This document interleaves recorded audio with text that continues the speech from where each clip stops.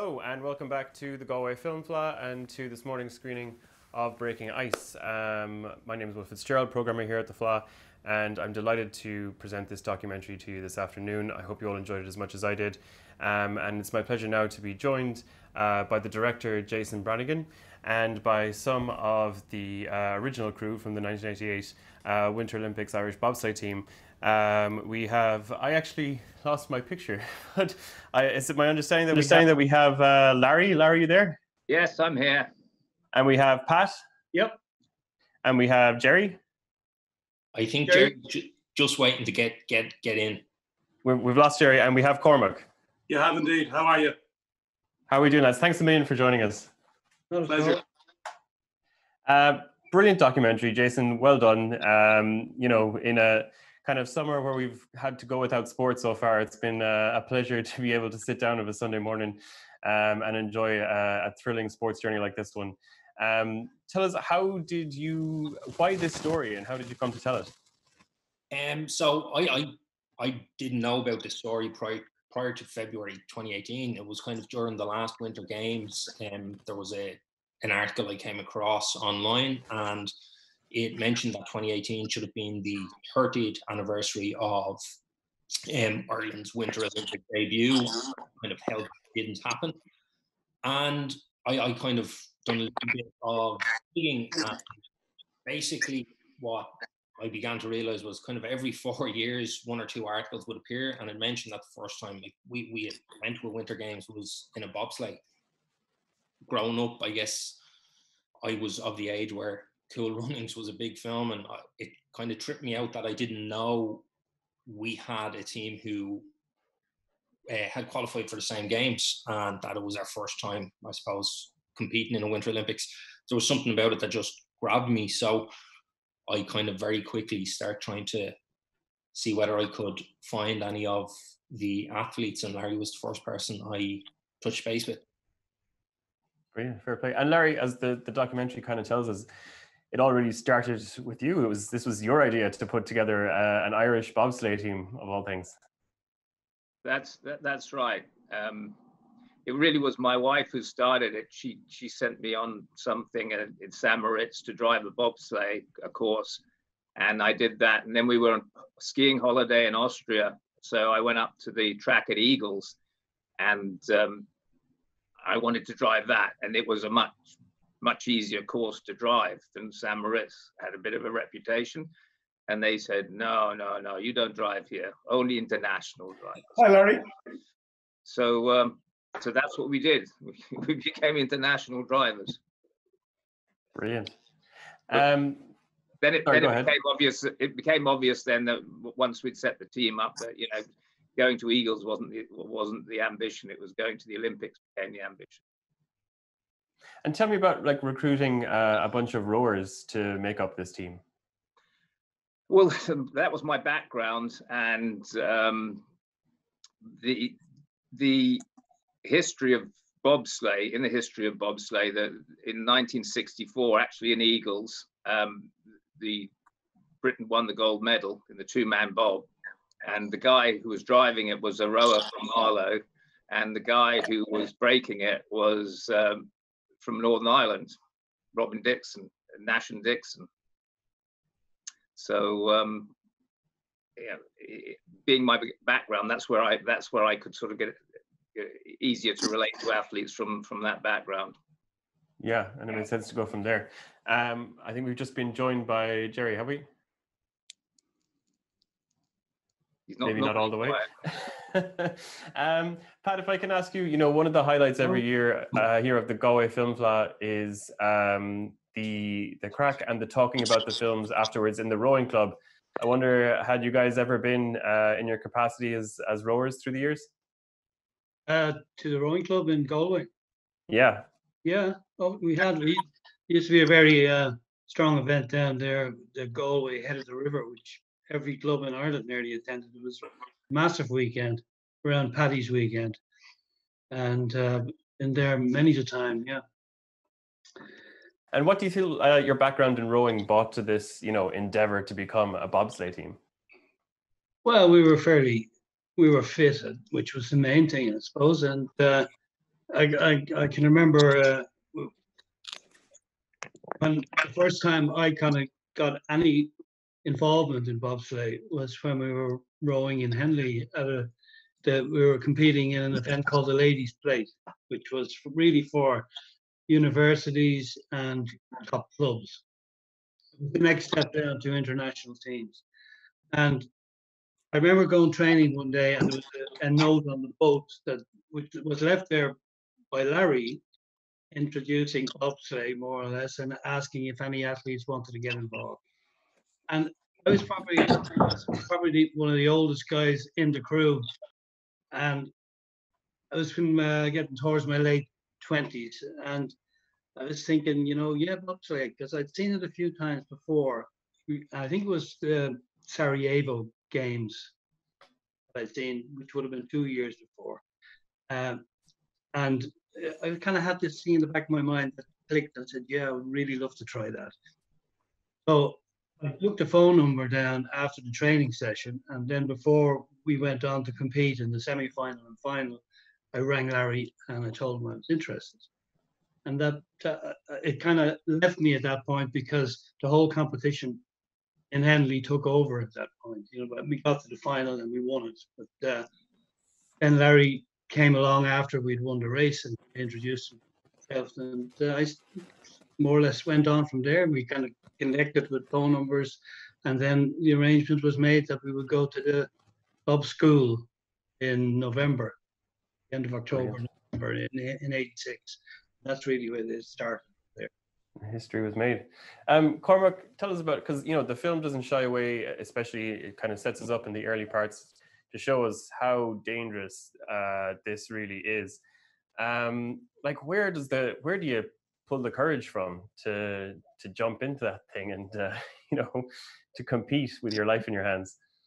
I'm not quite sure. I think I seem to remember saying in the film that uh, when I first did it, it frightened the bejesus out of me. Um, it is a um, it is a particularly um, uh, from my memory, certainly at first, it's particularly frightening. It's a sport where you have to overcome your fears and control your fear to do it. There's a great amount of adrenaline involved, um, and um, I don't know. It's just, um, I mean, you know, I was there. I was, I don't know, 24, 25 years of age with this fantastic opportunity, and you look around at guys like, you know, Larry and Pat and Gerry and that, and you don't want to let yourself down in front of them. You know, you've got to kind of you've got to front up. So it's just a it's a competitive thing. It's like yeah. any other sport, but I'd say, I mean, certainly for me, the fear factor was bigger than any other sport that I ever competed in. Yeah, I can well imagine. We see we saw some of the the bruises and the damage inflicted there uh, during the film, and it was also there was a, a real sort of bittersweet moment. Uh, Gerry, I don't know if you can hear me now at this point, but I can uh, hear you. Can you hear me? Oh, Fantastic. Yeah, we can hear you. Um, there's that great uh, recreation scene that Jason did with the the newsreader uh, talking about 88, of course, and what was going on in the background. Uh, I suppose the background for you guys, because you were doing your thing, was of course you know Jack Charlton and the other boys in green, um, which is a bittersweet moment, I suppose, given the events of the um, of the past day. Um, was there that sense even back then that even though you were doing this amazing Olympics, uh, you know, you were going to compete in the Olympics, but I suppose it was overlooked still in, as a as a sport in Ireland.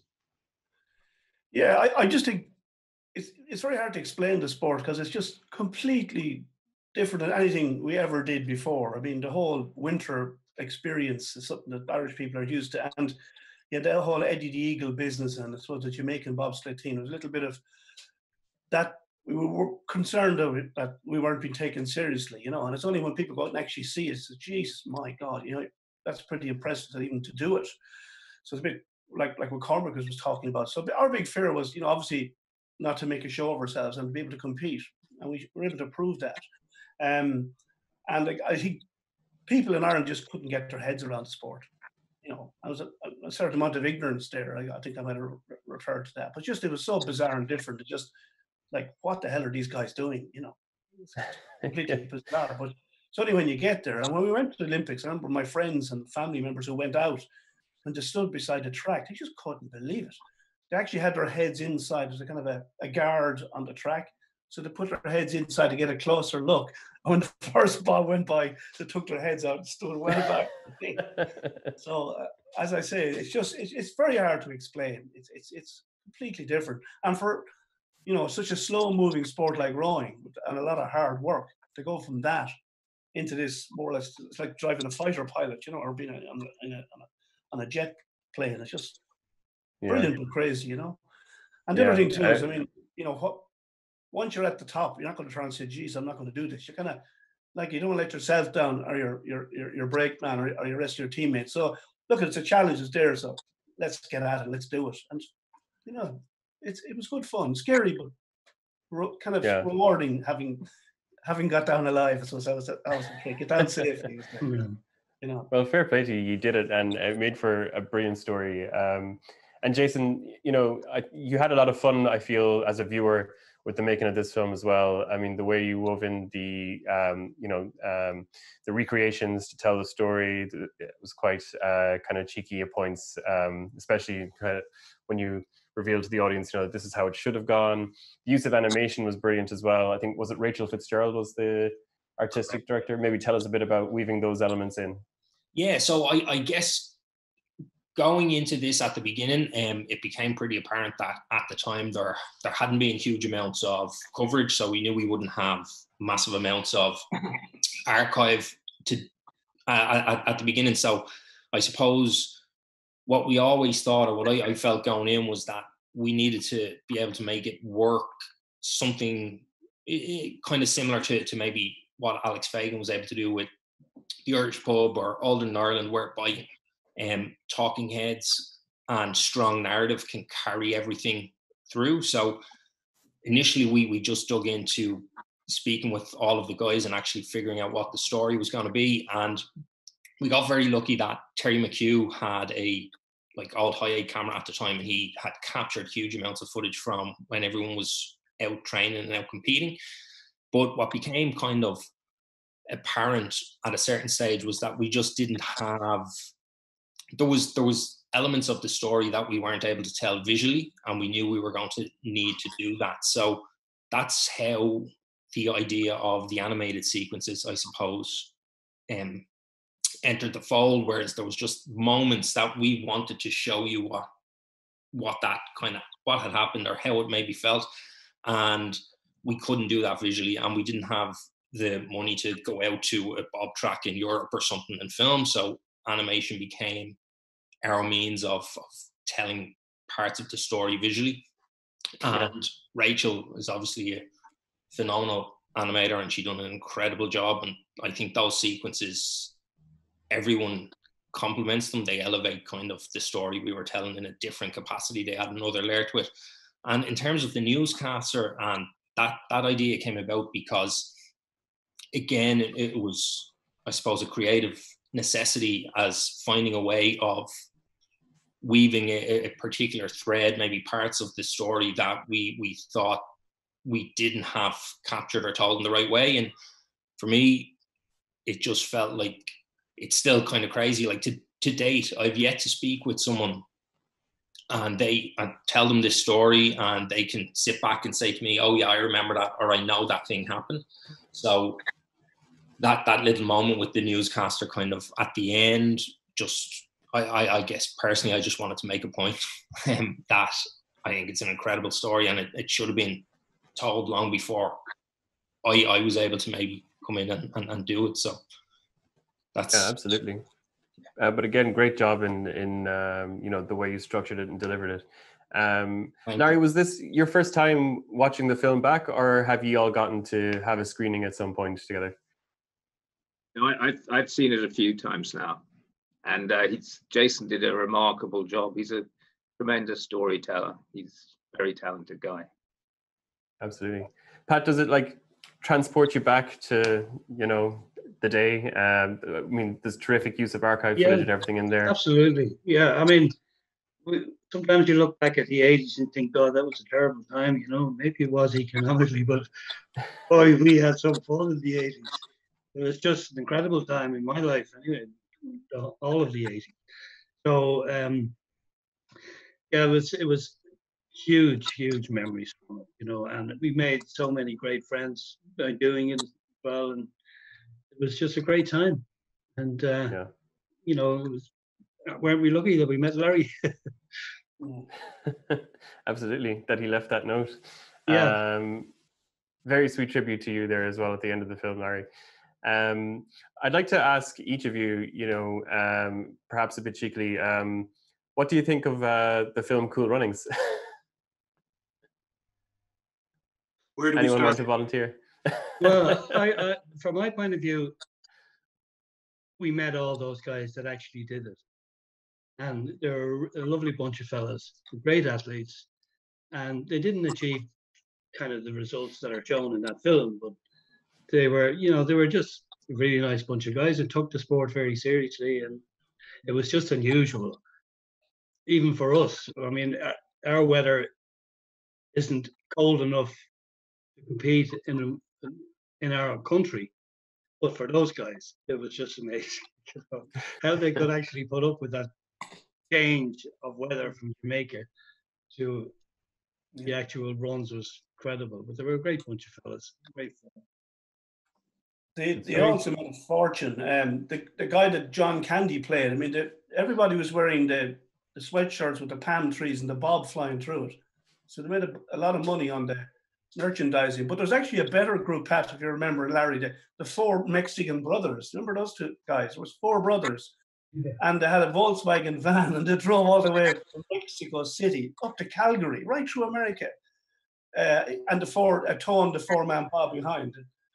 I don't know what happened to them, how they did, but uh, I remember the, meeting them anyway. They were characters. The Jamaicans. Sounds like another movie in the making, guys. Sorry, go ahead, Larry. Yeah, I've I watched I've watched Cool Runnings a few times and I enjoy it each time. Um, but the we when we were at the Olympics in Salt Lake City in 2002, when um, the a, a skeleton rider came forth, the Jamaicans actually broke the track record um, for the start. So their sprinters got them got them off the start faster than any any other team in the competition. They didn't win it, they didn't place, but they did take and, and in bobsleigh, the um, the fi- first 50 meter time for the for the athletes, for a lot of the athletes, that's more important than the bottom time, because th- th- that's their contribution. It, it is is getting uh, the, the very fastest start, and uh, and Jamaica took the track record. So they they um they're an impressive bunch of guys, and Yeah, they're still absolutely. no more than yourselves. Um, and uh, I also wanted to ask each of you, you know, looking at this film, um, like I said at the beginning, we've kind of it's it's been a treat to have uh, some sport to watch on a Sunday morning again. We're living through this um, summer without sport. Um, how like what's what do you guys see as the effect of uh, a period like this? Um, you know, the pandemic, lockdown, athletes haven't been able to to get out and practice. Um, any particular uh, feelings? You relieved things are opening up again. Um, Cormac, maybe if we start with you and we'll kind of work around. Um, well, it's a long time since I would call myself an athlete. Um, the lockdown has cost me. The lockdown has cost me at least a stone, stone and a half. Well, say a stone. Um, no, I mean, I think um, my own personal view is that this is a thing that we're all going to have to learn to live with for a long, long time. Um, I think it has been particularly um, um, uh, um, unfortunate the effect it's had on sport, as in other parts of life. Personally, I'm waiting for my gym to reopen so I can um, get the body moving again. But I just think that there's a, you know, there's an awful lot of different considerations um, to be had. It's very unfortunate. At the end of the day, there are more important things than sport, and the people I really feel for are the people that are going to lose their jobs, the people that um, you know have families are maybe going to lose their mortgage because of the economic knock-ons. Uh, you know, and of course the people who have died and who have lost loved ones. So yes, it's unfortunate that sport has been um, haltered in the way that it has, but actually there really is um, far more important things I think to be concerned with. But yeah, I suppose like everyone, I just hope we can get back to some semblance of normality as soon as possible. Yeah. Larry, yourself, you looking forward to any particular uh, tournaments or Olympic games in the future? Um, it was, it was good when the golf came back. The uh, Roaring, the, he, he he brought them back. It, it, it, was that was kind of the start of, of watching sport again, and it's it's picking it's picking up now. Um, I was up early watching New Zealand rugby when that came, the first weekend that was on, but but I haven't watched it since. I was desperate to see the first game, um, but there's quite a few sports now. Uh, I'm it's wretched for the uh, for the sports people, particularly the ones who train for this year's Olympics. But as Cormac said, it's you know it's not the end of the world. Sports not the end of the world, and some people are dealing with the end of the world. Yeah, absolutely. And then at the same token, Gerry, for some people, for people who've trained and have a goal like you guys did, it must be devastating at the same time. Yeah, I, I, I think um, you know, particularly like rowing. Now, our female sculler, Sanita Puspure, you know, she's world champion the last two years, and she and she's in her late thirties now. There's hope. It would lovely to see her win an Olympic medal, and I hope not just because time is against her, but maybe she'll prove us all wrong, and I hope she does. But I think the other thing is, and it's kind of the corollary to what Cormac was saying, that how important sport is in all our lives, and it's it's it's kind of it's there in the background all the time, and you kind of forget about it. It's only when it's taken away you miss it. Now, you know, I don't. I've fallen out of love with soccer, but I like like Larry. I love the rugby. I just like the, the gladiatorial contest. I was looking forward to Leinster beating the crap out of those which will probably happen anyway. You know, if there's any God out there, any justice out there, Leinster have to win that semi or quarter final and hopefully go on and win the double again. But, uh, I uh, I miss the rugby big time, you know. Uh, and as I say, but it's given them a lot of chance to to get healthy again because they're always kind of injured, you know, so possibly trying to kind of get that break from the sport actually might help them in a way. But I feel like Larry, I feel sorry for the people because we know from rowing how hard and how hard they train now. It's we thought we trained hard, but it's the sport has just gone mad now in terms of the physical preparation and uh, you know, just it's very tough not to be able to go out and, and compete and perform. It must be difficult for them, you know. But it's maybe in all sports. Absolutely. Yeah, the break might actually be that there are some benefits, I suppose. Pat, would you agree? Well, yeah, the benefit for me really was how closer you you become your own family and your friends. You know, you, thanks to Zoom maybe, but um, I think people the good came out in people. It was something that had to be fought, and everybody put up a great fight against it. You know, and looking back on it now, some people made some terrible decisions, but uh, you just have to get on with it. You know, when you look at different governments around the place and the the number of deaths, it's really hard. It's heartbreaking, you know. But I think Cormac kind of summed it up there in a nutshell. Sport is a great thing, but there are other things that are that bit more serious that have to be taken more serious that we all have to fight against.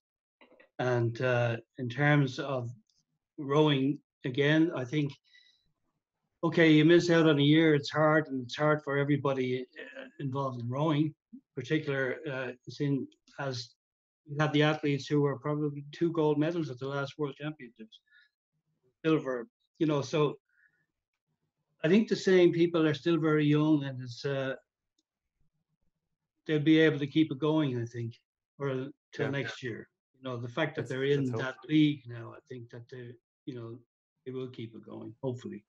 But uh, hopefully, all in all, I think uh, it's it's been a strange time, and I hope we can kind of get through it. And it did highlight a lot of the things that aren't that important, really, and tend to have far too much importance.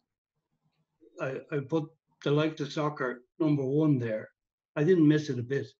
In fact, I prefer to watch it now without the sound. So I probably always did, but I do. I, I personally miss the Gaelic football. I hope oh, we get yeah. back. I hope we get back to. Don't we all? And the hurling as well. Yeah. Uh, Jason, just by way of wrapping up, um, you know, obviously, I suppose the pandemic has put uh, a crimp in your plans for the film. Um, I hope it finds loads of success after the Fleadh and on the big screen as well. Um, have you used this time to develop any future projects?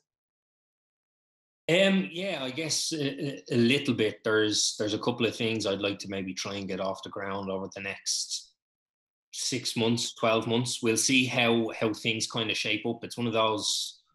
I think everyone is still eagerly kind of watching and checking trades to see what's back filming and how they're doing it. And there's just such a big question mark, I guess, as to when everyone in the industry will be able to get back to work.